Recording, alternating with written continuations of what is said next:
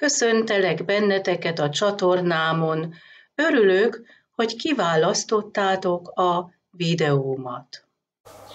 A három kérdőjeles jóslás március 24-én.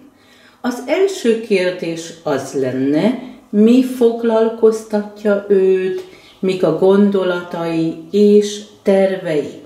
Ez a felső kártya megadja rá a választ.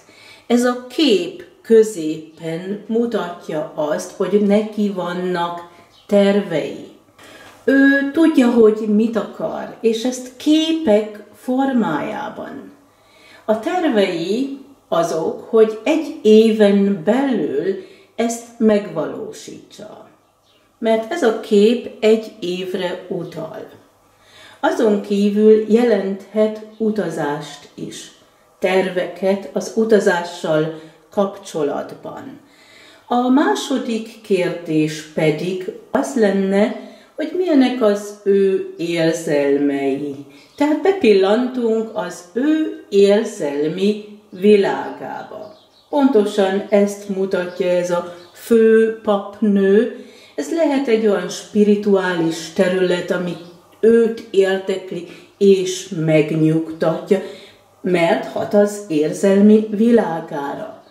Vagy megvan benne a bizalom, hogy minden úgy fog történni, ahogy a Jóisten szeretné. A harmadik kérdés az lenne, milyen lépéseket tesz irányotokba, ezt a nap kisugárzása mutatja. Valamit meg akar tekinteni, vagy szeretné a valóságot tudni. Az is lehet, hogy ő most valamit megnyit, és mutatja kifele. Gyermekek itt egy új kezdetre utalnak. A napi kártya, vagy a mai nap energiáját ez a fa szimbolizálja.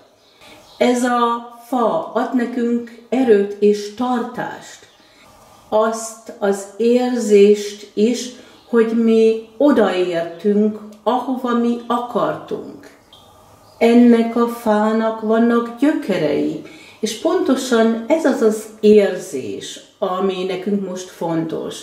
Valahol gyökeret vetni, elérni azt, amiről álmodoztunk, amit mi terveztünk. Ez a fa szimbolizálja az egészséget is, de utal betegségekre is, és ez pontosan most egy olyan téma, ami az egész világot érdekli. És ez volt a három kérdőjeles jóslásom.